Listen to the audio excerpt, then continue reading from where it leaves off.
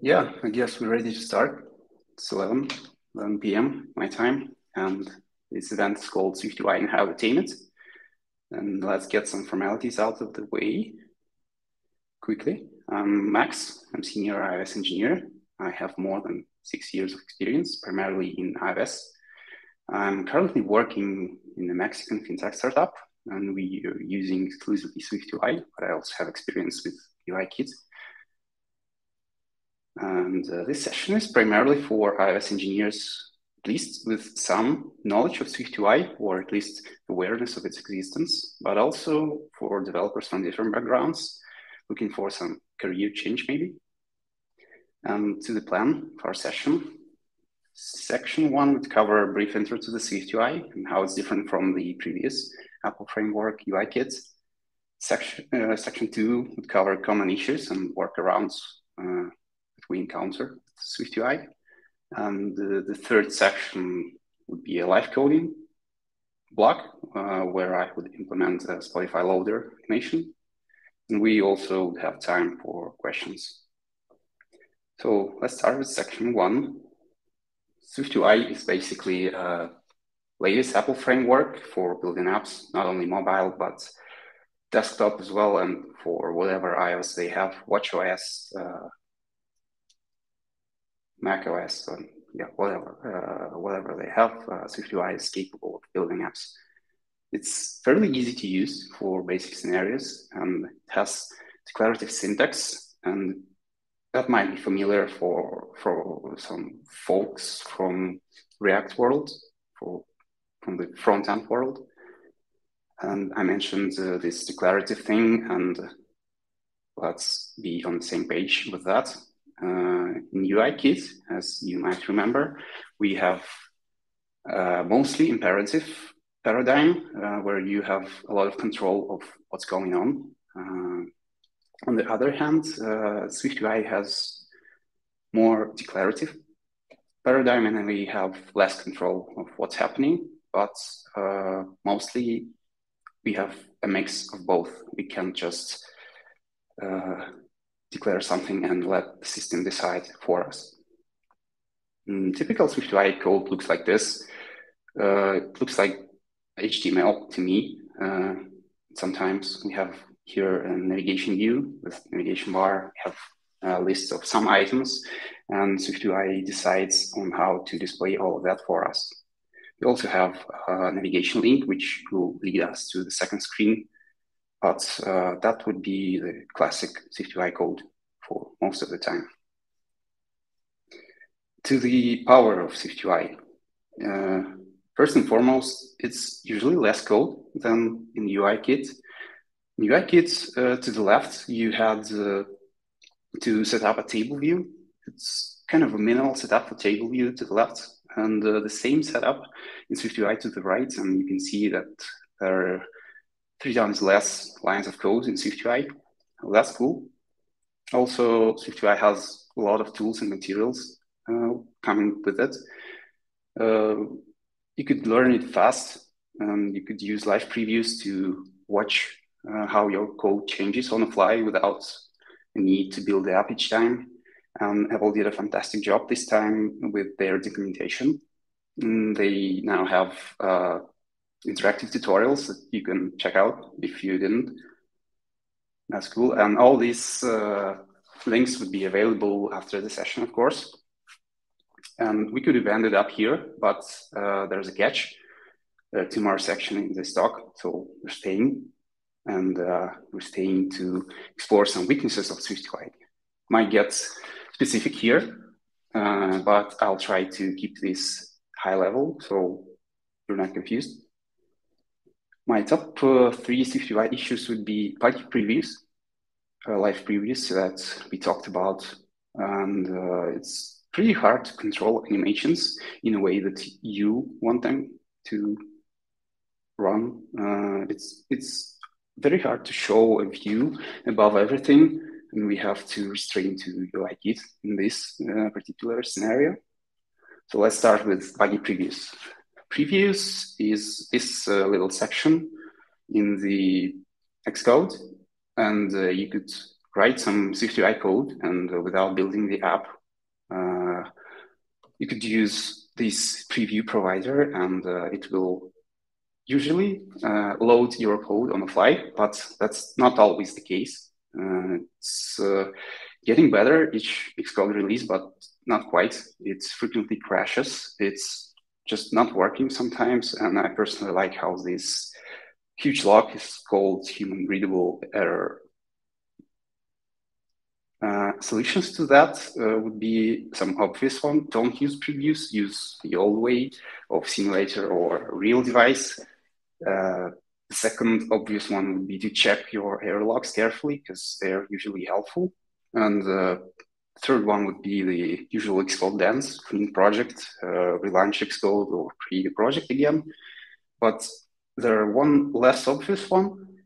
And if you are in a modular architecture and uh, if you are in a static framework that's linked statically, you should change linking style to dynamic because previews are not supporting that yet. And there's a separate thread on developer Apple forums, which covers that issue. The second issue of mine is that it's kind of hard to control animations in SwiftUI. We have this basic scenario.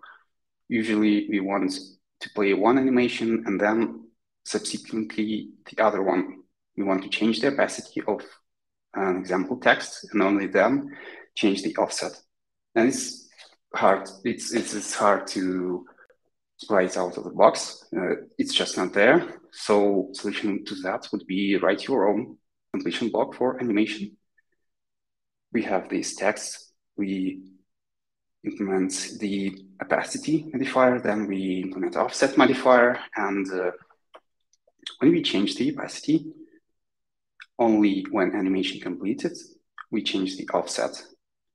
And all magic is covered inside the on animation completed block.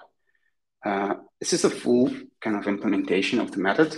Seems like a lot of code, but uh, it really isn't. All magic is here because this animatable data property holds the old value right up until the moment when we reach our target value.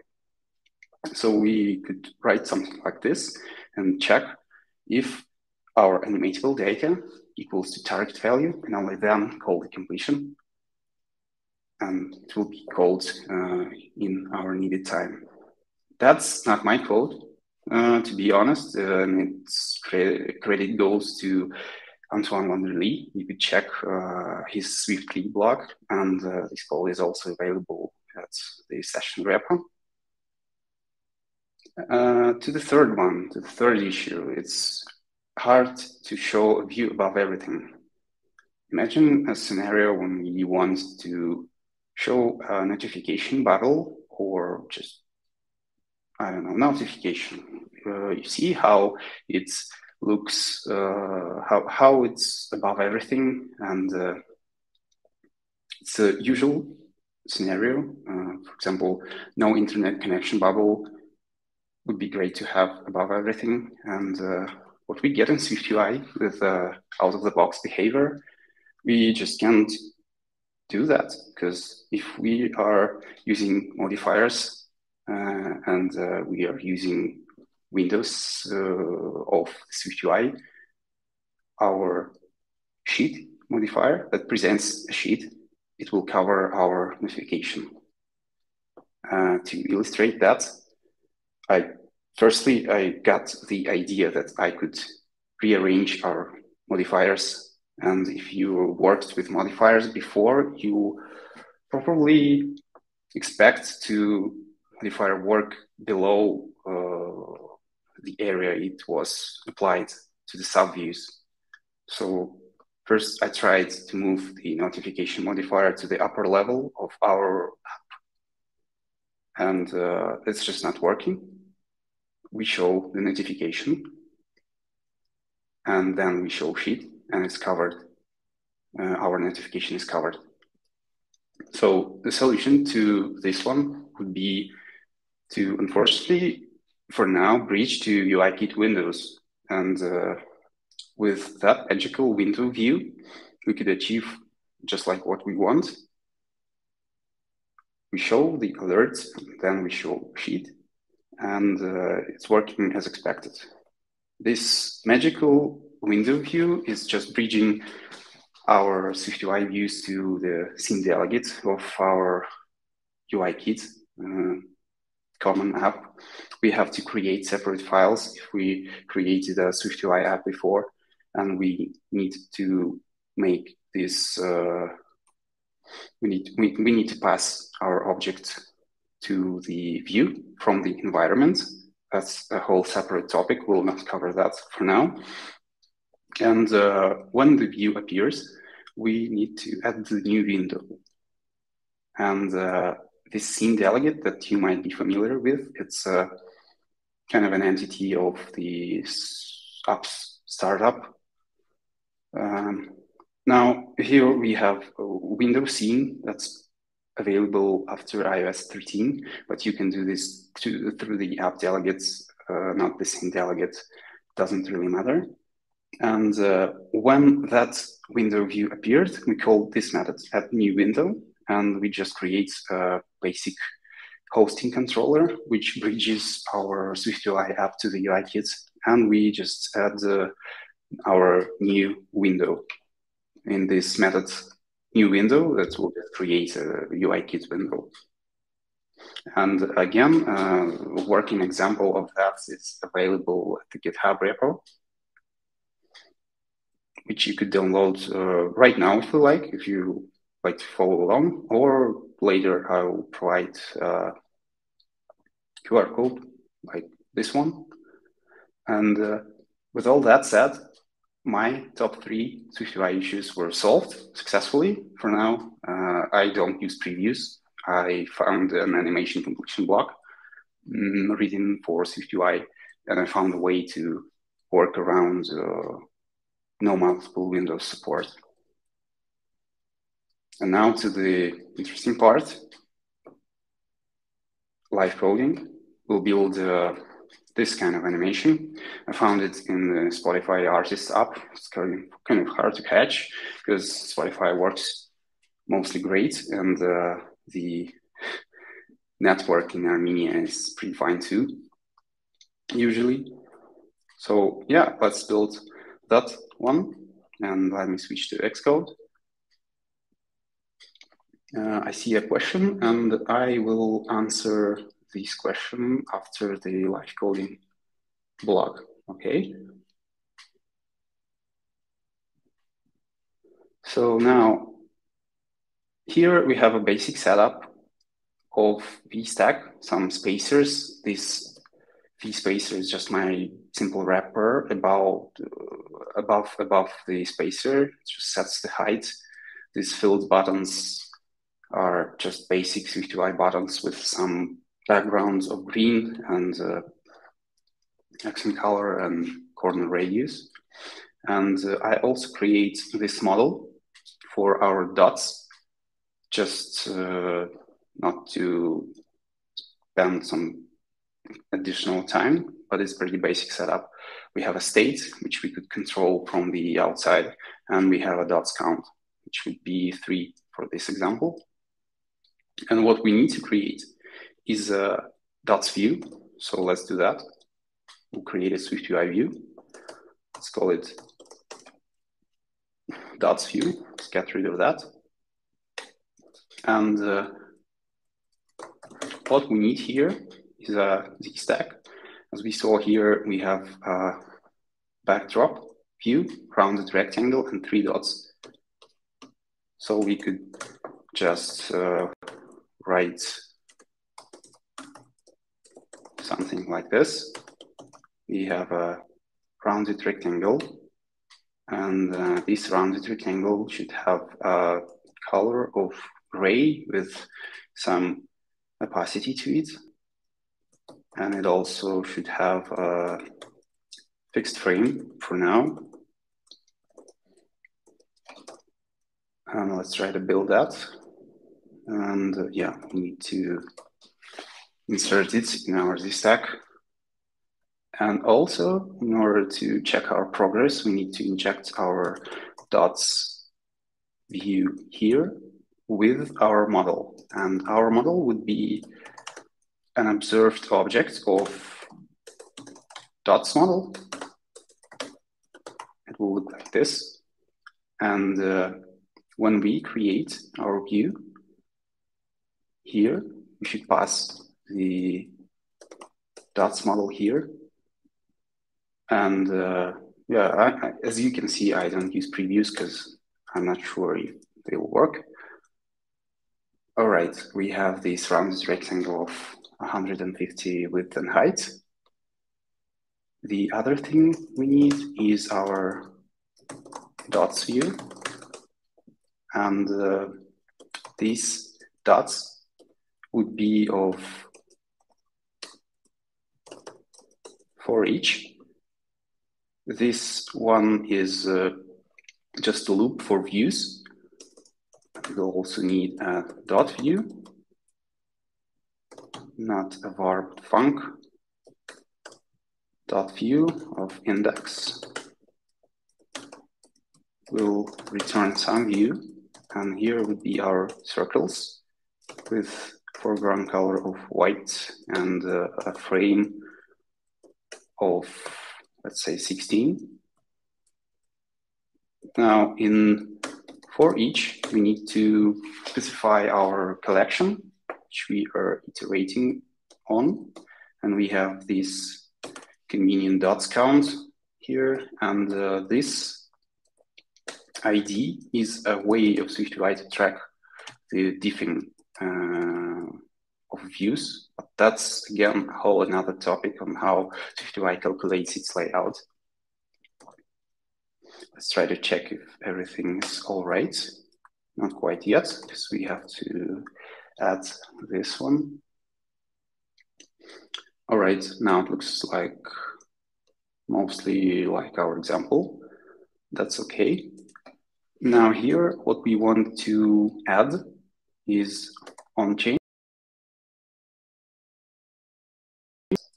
the state previously, this state variable. It's marked with this published uh, property wrapper. In, in what, what, it does, it just publish uh, changes when the state changes. And this way we could observe these changes in our view.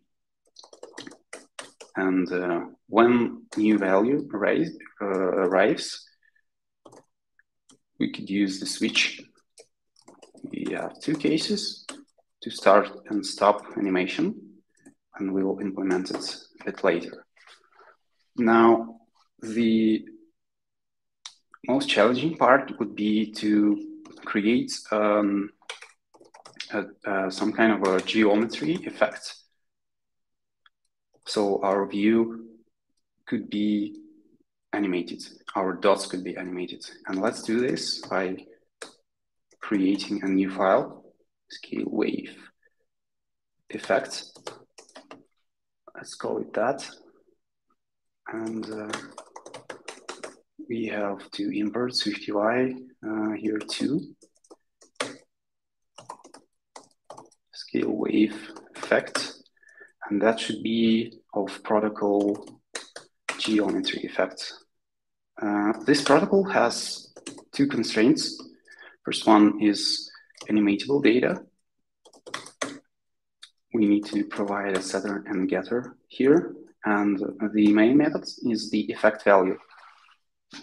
Uh, in order to control the triggering of our animation, we need to extend our type with additional one. And that's one way to do it. I'm sure there are others let's call it trigger, will duplicate our animatable data here of type CG float, sorry. And uh, we'll need to have two methods, start and stop. And what we do in these methods, we check if our animatable data is uh, let's say for now, is this value. I'll get to this in a second. we should switch it to the positive one. And if not, we switch it to the negative one. This way we could trigger animatable data back and forth uh, when we call our method start. And when we call the stop method, we just reset our animatable data to the initial value. All right. Uh, now we need to mark our methods with mutating because it's a value type. And that's fine for us. And we need to pass this trigger here in our geometry effect. So now we have an access to our trigger animatable data. And when we set new value, when SwiftUI sets new value, we should set the value to our trigger. Okay, now we can declare this trigger in our view. And that should be of type scale wave effect. No, uh, not this trigger, right? And when we switch our state, we call stop and uh, we go with animation trigger start. This with animation block tells SwiftUI that uh, we have to trigger our animatable data with obviously with animation. And it was hard at first, but I cracked this animation, particular animation, um, looking at it as some visual uh, representation. And what's happening here is you can see our dots first scaling up. Then when it reaches the maximum value, second dot begins to scale up and the first dot begins to scale down. And that way we have this kind of wave effect. Now, how you're going to achieve that? I would say with some high school maths. What we could do this, uh, what we could do here is to use our modules. I found it not from the first try, but it will look like what we need. We just have to invert it.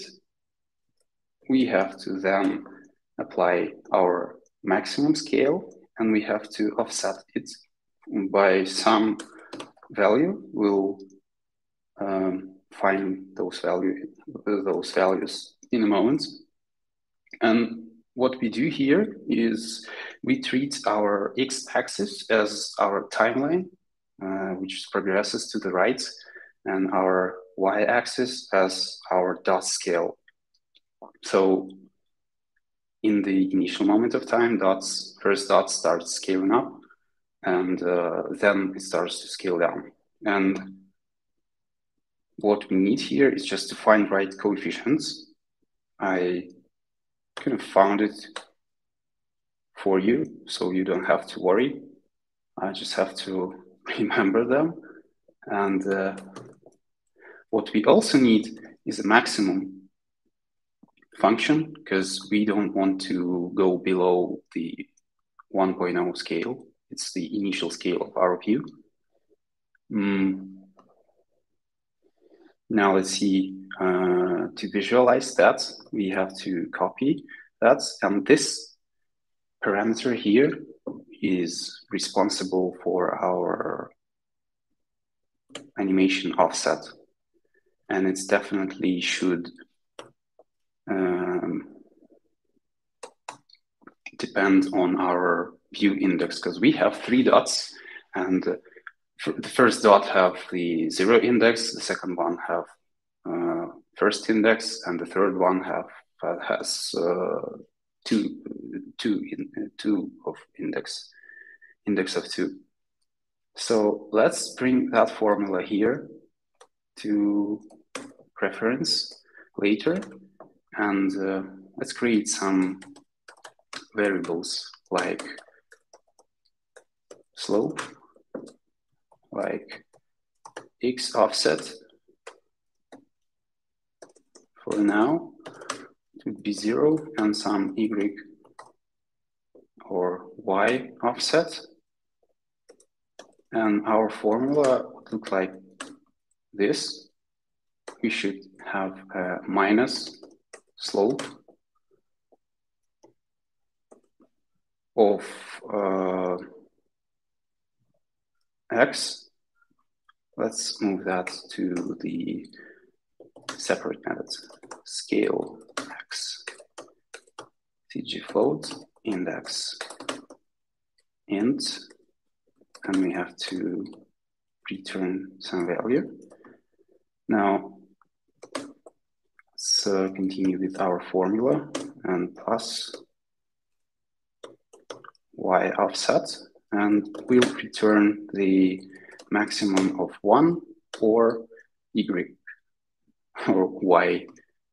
Um, okay, so this x offset, as I said, should depend on our index. And uh, the way to do that would be to just, for the sake of this presentation, to subtract some constant, for some index from our constant. And that way, when index is zero, we would have 0 0.5. Uh, when we have uh, index of 1, we would have another value. And when the index of 2, we would have the needed value as well. We might want to play with those coefficients. Uh, let me see. Now, yeah, uh, that, look, uh, that looks like uh, what we need because here the first dot scaling up and when it reaches the maximum, as you seen um, in, in the animation video, the, the, second dot starts scaling up and the first dot starts scaling down. And that's why we have this minus two to two um, timeline. It could easily be rearranged to start from zero, but for the sake of the presentation, let's keep it that way. And now we should change this to one, and uh, we should keep our y offset to 1.5 because that's our maximum scale from this graph. And now we should also convert this index to CGFloat because it can subtract. And uh, yeah, we, we got our scale function now. And what we need to return from this method, effect value, is a projection transform. Uh, the way to return a projection transform is to use a CG affine transform. And to the uh, that's that's a method from core graphics and it just it's just scaling up our uh, our dots in this case. And because because uh, we we want our dots scaling in a even manner we should use the animatable data or rather trigger animatable data and the index that we will need to pass to our scale effects. Okay, now we have to pass scale here and here, and we can now get rid of that. And uh, then we have to return something from this method. Trigger here. All right, and in order to use our newly created scale wave effect, we need to extend our view with a modifier. Scale wave, we have to pass an index, and we have to pass trigger. Scale wave effect trigger. Here we could use uh, extension here. not the func modifier, and uh, this modifier will accept our newly created scale wave effect with a trigger and an index. All right, and uh, we also need to return the view. And now this scale wave could be applied to our dot view. That's what we need. We have our index and we have our trigger here. And uh, let's see if it's working. Not sure yet.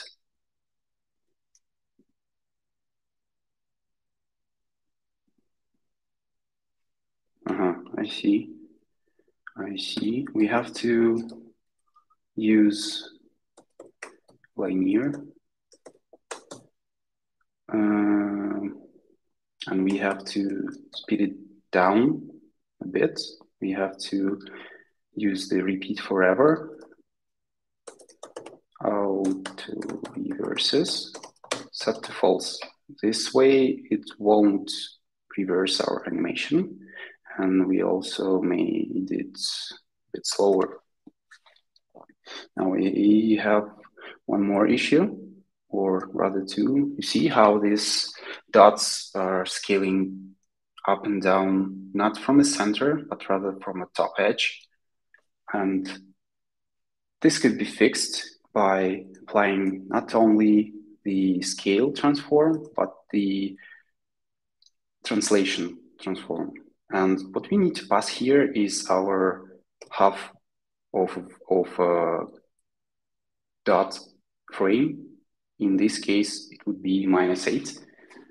Uh, but we could easily pass it from the initializer of the scale effect, just for simplicity. Uh, that's a hack because we have to set an anchor point for our scale transform, and there is just no way to do this in SwiftUI. So in order to work around that, we'll need to use offset. The same offset, but counteract those translations that we made.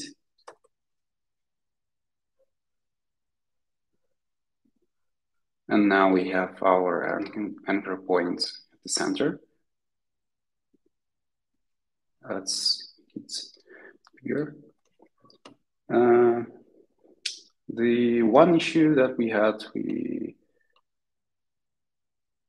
fixed, and now we have another one. Uh, our animation starts from right to the left, and I wanted it to be the opposite way, but uh, let me see. Trigger, uh, it starts, and it starts from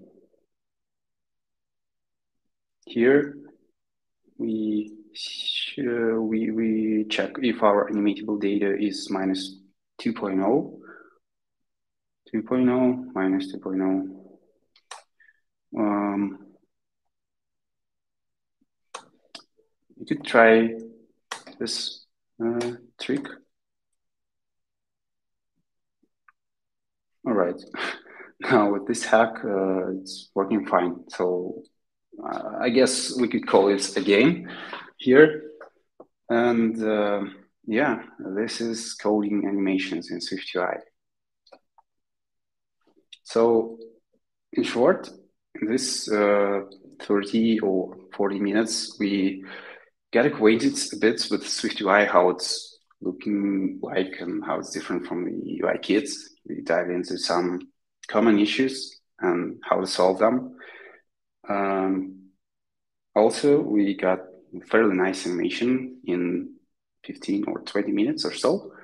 And uh, yeah, that would be all, I guess. And if you want to check the code, I'll push uh, my changes to the repository uh, right after the session, be available indefinitely. And uh, now we have some time for questions. And in the meantime, you could use the QR code to check the repository. Now, Ashish uh, asks, can't we access key window in SwiftUI to present notification view?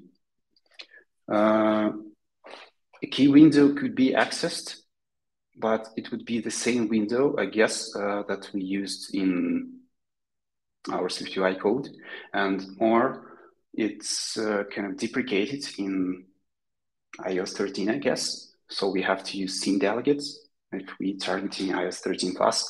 But uh, overall, yes, we could use the key window. Uh, we could use the key window, but I'm, I'm not sure if it would present uh, the uh, alert as we need.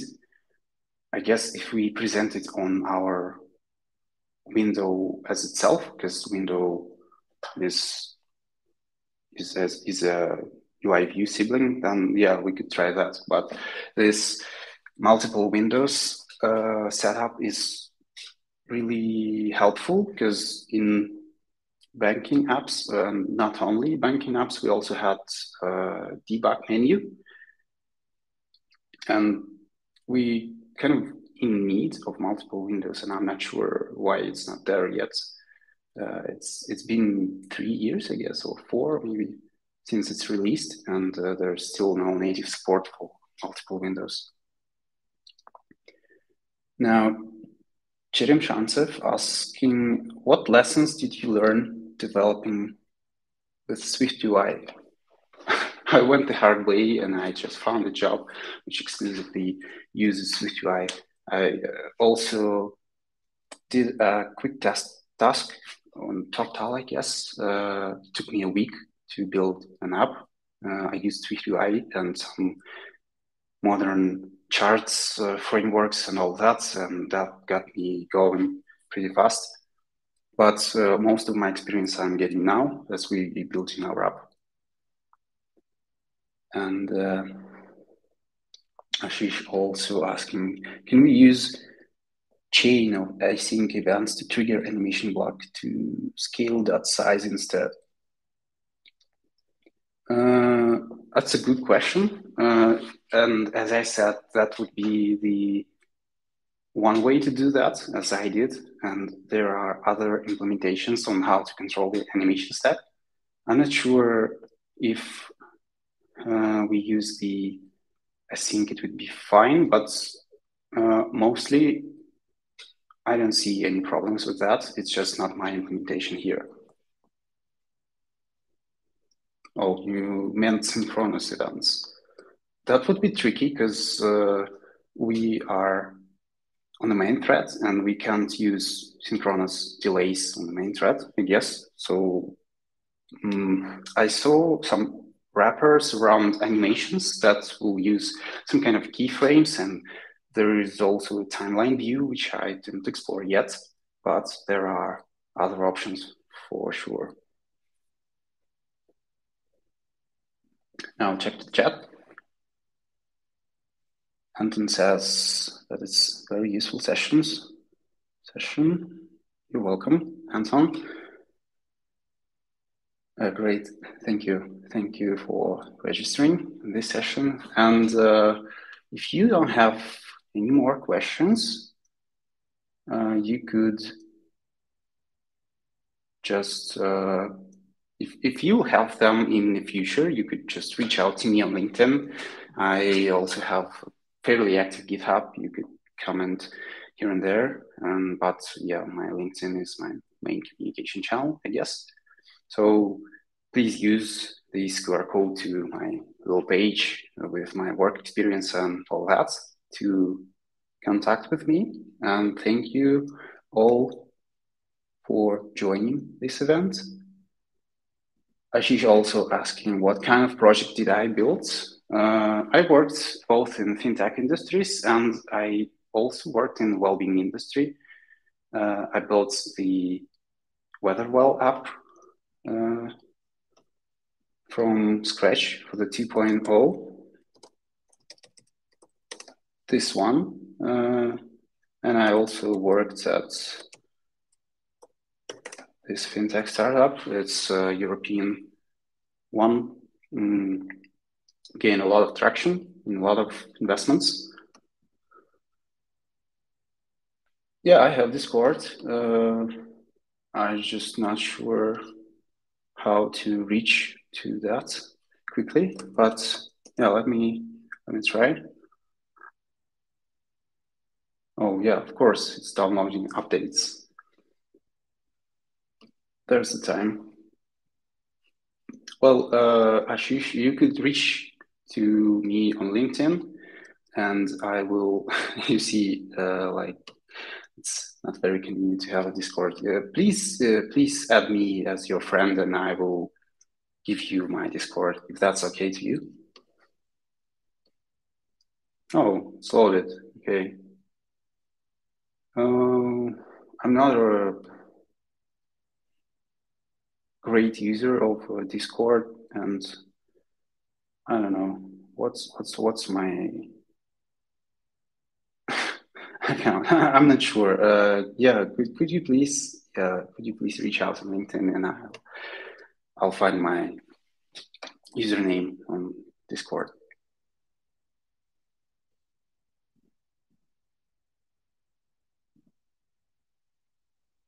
All right. Uh, any more questions? Ashish, maybe?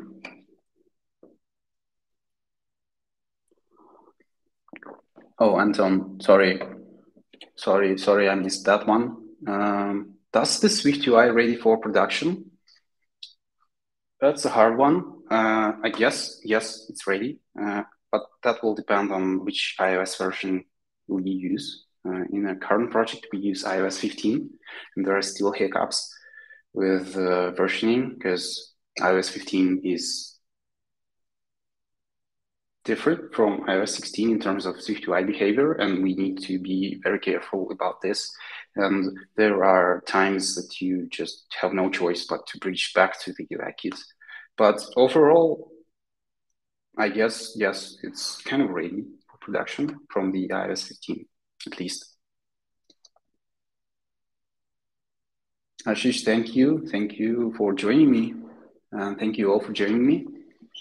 Any more questions? Maybe I missed something?